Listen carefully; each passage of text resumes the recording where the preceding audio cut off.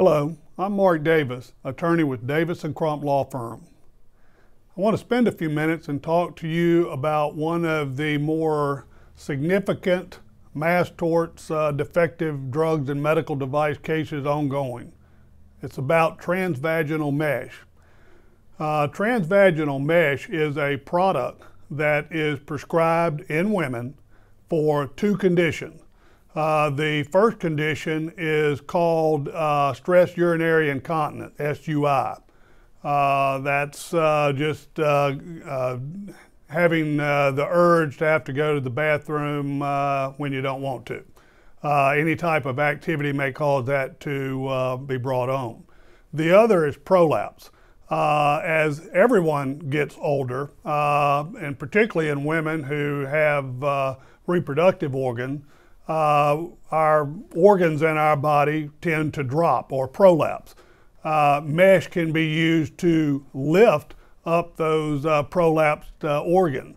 Uh, in the SUI, the stress urinary incontinence uh, situations, it's used to lift the bladder. You may have heard some of these procedures being called a bladder lift, and some of these devices being referred to as bladder sling uh, but it's all talking about the same thing. Uh, and they're basically products that are used to treat the stress urinary incontinence, uh, typically referred to as sling, and those that are uh, used to treat the prolapse, which are typically just referred to as mesh.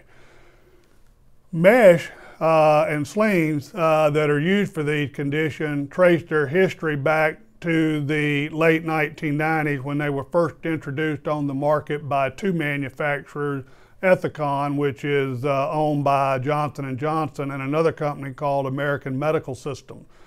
Uh, before the late 90s, uh, mesh was mostly used for hernia repair, uh, which is uh, mesh used through an abdominal incision. Uh, in the late 90s, Ethicon and AMS uh, began uh, marketing product taking the same polypropylene based mesh used for hernia repair uh, and promoting it for use in repair of uh, SUI and prolapse through a uh, that would be implanted vaginally, which is a totally different uh, method of operation than the hernia repair, which is being done through an abdominal incision. Uh, so by doing this, uh, these manufacturers were able to get around some of the FD, FDA requirements on the, the products being tested uh, because they had already been used, at least in uh, uh, hernia repairs prior to the late 1990s. Um, there are now tens of thousands of cases that have been filed in both state and federal court uh, across the United States. In federal court, uh, all of the cases have been consolidated for discovery purposes only uh, in front of a judge in West Virginia. Uh, some cases have settled. Uh, many more are set for trial in the upcoming months and years. Uh, and we anticipate further cases uh, will go to trial and also be settled in the upcoming months and years. Um, if, if you uh, are a woman who has been injured by a mesh type product, uh, or you know a loved one uh, or a relative uh, that has been injured by a mesh type product, give our office a call. Uh, we will uh, talk to you about the particular types of products you have uh, and if you have one of the products that's involved in the litigation, uh, we'll make a claim on your behalf.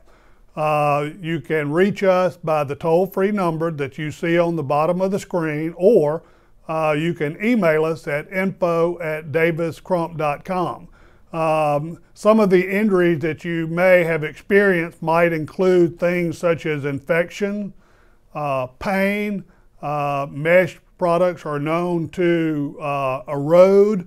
Uh, many women have undergone subsequent procedures either to have the mesh product cut because it was in there too tight uh, uh, or have had to have the product removed either in the doctor's office or under a general anesthesia at a local hospital. Uh, it can cause uh, bleeding, it can cause scar tissue, uh, it can cause painful sex. Uh, these are all injuries related to mesh type products. Again, if you've had one of these problems, uh, give us a call or send us an email and we'll contact you regarding a claim. I know we can help. Legal Briefs was brought to you by Davis and Crump. Fighting for you is what we do.